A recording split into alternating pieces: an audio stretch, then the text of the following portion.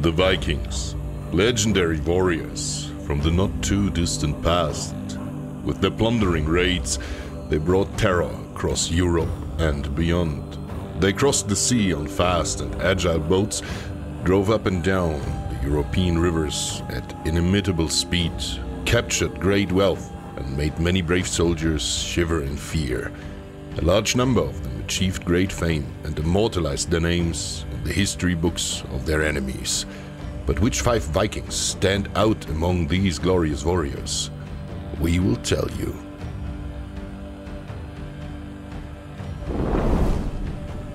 In fifth place, we have Rollo. He got the nickname Rollo the Walker because he was supposedly too tall to ride a horse and therefore had to walk everywhere. If you look at the comparatively small Scandinavian horses, you may get an idea why. His origin is not exactly certain, but it is believed that he was a Dane. He was almost certainly a Viking, however, a Viking who immortalized his name in French history for two reasons. On the one hand, he plundered the rivers of Europe and took part in the Second Great Siege of Paris. On the other hand, however, and this has much greater historical significance, he concluded a military pact with the West Frankish King Charles. Rollo received the county of Rouen and was firmly integrated into the West Franconian Empire. In return, he was baptized and, more importantly, agreed to defend West Francia against any attack by other Vikings. A stronghold against invading raiders, with great success, because Paris was never again conquered by the Vikings. The sons of Rollo became dukes of Normandy, which is named after the Normans, i.e., the Northmen, and which still bears that name today. Rollo's direct descendant, William the Conqueror, lived up to his Viking heritage and sailed the sea in 1066 to conquer England. That too, with some success. Rollo is one of the Vikings who shaped the history of Europe and deserves his place in this series. He is described as a cruel and unyielding warrior. The fact that he only ended up in fifth place is due to the fact that his later activities were very successful in terms of war, but had very little to do with being a Viking. Next up is the Norwegian king Olaf Tryggvason, who although he only had a very short term in office, was nevertheless able to put his mark upon the Scandinavian countries with great violence. He was later seen as the first Christian king of Norway and in Christian fashion brought the religion of the benevolent god over his countrymen with fire and sword. He is said to have given the Jarl of Orkneys a simple choice baptism or decapitation. Before this time, however, at least one suspects he participated as a Viking in numerous raids that hit both the Franconian Empire and England. He murdered and plundered as befits a great Viking. Eventually, he returned to Norway to contest his adversary Hakon Jarl for the throne. His foe, however, had already been chased away by rebellious peasants, who thereupon appointed the arriving Olaf king. A king chosen by his people. The already baptized Olaf united the Kingdom of Norway under his rule and began with Christianization a little later. Churches were built and resistance was crushed by military action. In other respects, Olaf led a very aggressive policy too, which is, of course, not surprising in a view of his Viking background, and those hasty and thoughtless decisions made sure the rope around his neck would tighten more and more. Eventually, he was embroiled in a sea battle in the open sea in which he allegedly fell off the ship and was never seen again. It is possible that he fell into the water after being hit by an arrow or was dragged down by his armor. He was king of Norway for only five years. Nevertheless, the Christianization could not be stopped and pushed the European faith out of Scandinavia. No matter how you rate his deeds, he was one of the most influential Vikings of his time and a die-hard fighter beyond that. He is rightly on fourth place on our list. The Viking Ragnar, who is passed down to us as Reginheri, made it to third place.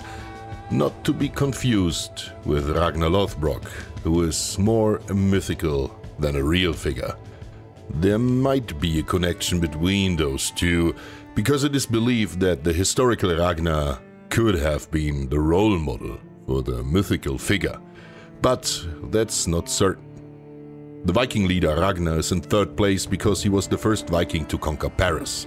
In March 845, he is said to have attacked the city with an impressive fleet of around 120 ships carrying about 5,000 men. He broke through the defenses to pillage the city. King Karl, despite having mustered a huge army, shied away from a fight, and he paid the Vikings an immense sum of silver as compensation. Eventually, Reginheri and his men withdrew with 7,000 pounds of silver as their price. In comparison, today that would be more than 2 million euros. Instead of driving out the Vikings for good, as the king must have hoped for, this strategy actually entailed that in the following years Vikings repeatedly attacked the city in order to obtain such a ransom. This culminated in the one-year siege of Paris in the years 885 to 886, during which the aforementioned Rollo led the attack. Without Reginheri, Rollo might not have made it to the Count of Rouen at all, but that might be another question to discuss. What is certain is that Reginheri was the prototype of a Viking who carried out the first serious attack on a major European city and was successful in the process. In addition, he possibly served as a model for Ragnar Lothbrok, and thus for the now probably best known figure of the Viking Age. So, in order to surpass this iron-hard Viking, the next two have to come up with a lot. In second place, for example, is a man who earned a fitting nickname for his amazing hair. Harald Fairhair, the first king who united large parts of Norway into one kingdom and who formed a powerful empire out of many loose alliances. In order to put this project into practice, he could not rely solely on clever tactics, but had to fight dozens of battles with brutal force and cut down countless enemies. He established close relationships with other European rulers and was also guided by their example when he unified the empire. The kingdoms of Denmark, Sweden, and especially the Franconian Empire are said to have impressed and driven him. While he was unable to unite the entire country of Norway under his crown, he at least set in motion an unstoppable process that was eventually brought to completion by his successors. That makes him perhaps the most important historical figure in Norwegian history not least because his lust for domination drove not a few of his compatriots to the Faroe Islands and Iceland, which again has enormous historical relevance for Scandinavian history, but by far, most literature about the Viking Age was written in Iceland, and with Snorri Sturluson, the greatest Scandinavian historian, was born there. We are familiar with his name nowadays mainly because of the Snorra Edda. But apart from Harald's efforts, he expanded his kingdom. According to the sagas, he was also the ancestor of some notable kings, for he fathered a large number of children. It is not possible to say exactly how many there were, but it could have been around 20. Eric Bloodaxe and Hakon the Good are likely to have been the most famous sons of Harald. Hakon was even raised in the house of King Athelstan of England, which shows how extensive Harald's relationships were. But despite his enormous importance, he was more king than Viking, and therefore cannot claim first place for himself. Nevertheless, he had a great influence on this list, because among his alleged descendants there is also a certain Olaf Tryggvason, and probably the hardest and toughest Viking of all, who is rightly in first place on this short list. Harald Hardrada was also king of Norway, but he came to his royal crown in a very unusual way. Although he was born as a half-brother of the reigning king Olaf the Holy, he had to flee Norway at a young age because Olaf lost his life in a battle against the Danish king Knut the Great, and the country fell to the Danes from then on. Harald spent some time as a mercenary in exile and took the most unusual routes. First, he went to the land of the Kievan Rus, where he served in the army of the Grand Prince Yaroslav as a military leader and made important contacts. He then went to Constantinople, where he quickly worked his way up to become the leader of the Varangian Guard. This guard was the elitist bodyguard of the Byzantine Emperor, which had been brought into being about half a century earlier and initially consisted exclusively of Varangians. As to say, Vikings. Harald was known for his cruelty in dealing with enemies of the emperor and shaped an era in Constantinople, an era from which he emerged with considerable wealth. Enough wealth to put his plan to regain the Norwegian throne into practice. He moved north and gathered troops around him. In the meantime, his nephew Magnus was the reigning Norwegian king and finally agreed, without major military conflicts, to share rule and wealth with his uncle. After the death of his nephew, Harald became the sole ruler of the Norwegian kingdom and repeatedly sparked conflicts with Denmark and England, whose kingship he also sought.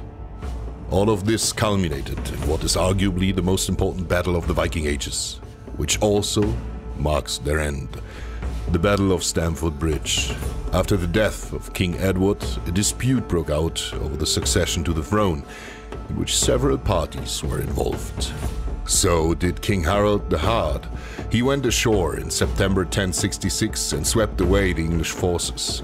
However, King Harold Godwinson, who had lifted himself to the throne of England, advanced with impressive speed from the south and was able to surprise Harald's troops at Stamford Bridge. In a legendary battle that could hardly be more historic, Harald finally fell at the age of 51 to take his rightful place in Valhalla.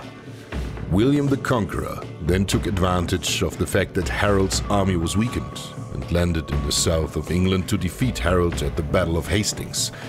So now William, the direct descendant of Rollo, was the King of England. Thanks for watching, Warrior.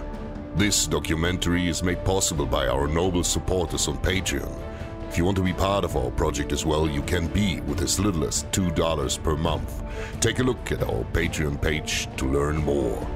Visit our other social media channels as well. All links are in the description.